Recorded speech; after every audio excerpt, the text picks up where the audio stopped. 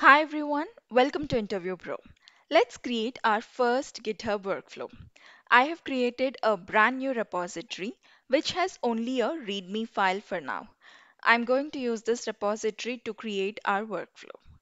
In this video, we'll go through the step-by-step process of creating a workflow. Keep your repository ready and follow along. The first step is to create a folder called .github. Then inside this folder, create a subfolder called workflows. This is the folder where all the workflows for this repository will reside. A workflow is nothing but a YML file. This file defines the workflow's configurations, including when it should run and what actions it should perform. Let's apply these changes to our repository. Before we create a YML file, let's go to Actions tab so here, when we don't have any workflows created yet, GitHub provides an option to set up a workflow ourselves. And there are many workflow samples here. Like uh, these are all the workflows available in the GitHub marketplace. For example, if you want to configure this uh, stale automation, then you can see that the GitHub has already provided some sample code for us to get started. In our case, we are going to create it from scratch. So let's follow the steps that we have seen previously. Let me add a file. First, we have to create a folder called .github. Inside this folder, we have a folder, another folder called workflows. Inside this workflows, I want to create our first workflow. I'll name this demo.yml. Now, in this demo.yml, we have to configure our workflow. So let's understand the structure of a workflow first before writing our code. Every workflow has a name. It's just a descriptive name given to identify the workflow. In this example, workflow name is Hello World. Then we have on, push, and branches. This section defines the event that triggers the workflow. In this case, the workflow is triggered on push event to the main branch. This means that whenever someone pushes code changes to the main branch of this repository, this workflow will be executed. You can specify any number of branches here. Every workflow has a minimum of one job.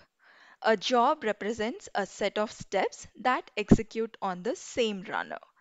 A runner is nothing but a virtual machine or a physical server that executes jobs in the GitHub Actions workflow. When a workflow is triggered, GitHub spins up one or more runners to execute the defined jobs. We'll learn more about these runners in our upcoming sessions. As this is our first workflow, I named the job as demo. This job is configured to run on the latest version of Ubuntu operating system. So the label of our runner is Ubuntu-latest. Finally, within the demo job, we have steps. A job can have many steps. For demonstration, we have only one step named greetings. This step will execute a shell command to print hello world to the console. Let's apply this code in our workflow. I have copy pasted the same code that we have seen in the slides. Now commit the changes. Because we are pushing some change to the main branch, it has to trigger the workflow in the Actions tab. So let me commit.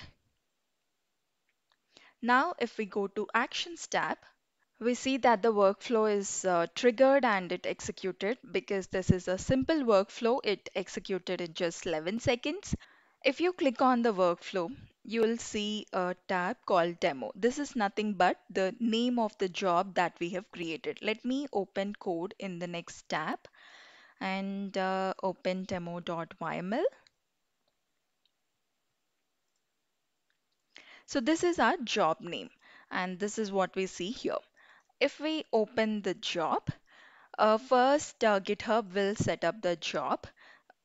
So if you open this, you will see what is the runner version and what is the operating system. It's Ubuntu and this is the version LTS The runner image, this is information about the runner and also the GitHub permissions.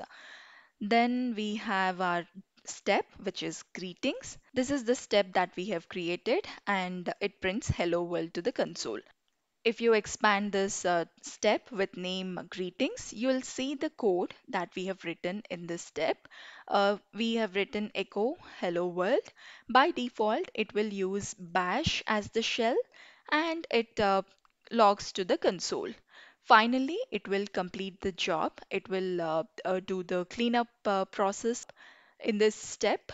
So this is our workflow. You can download the log, you can uh, view raw logs here. It will just uh, show all the logs in this format.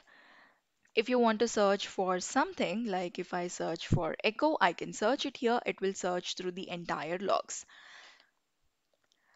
Uh, if you want to see the code for this workflow, you have an option called workflow file. If you click on that, it will take us to the demo.yml file.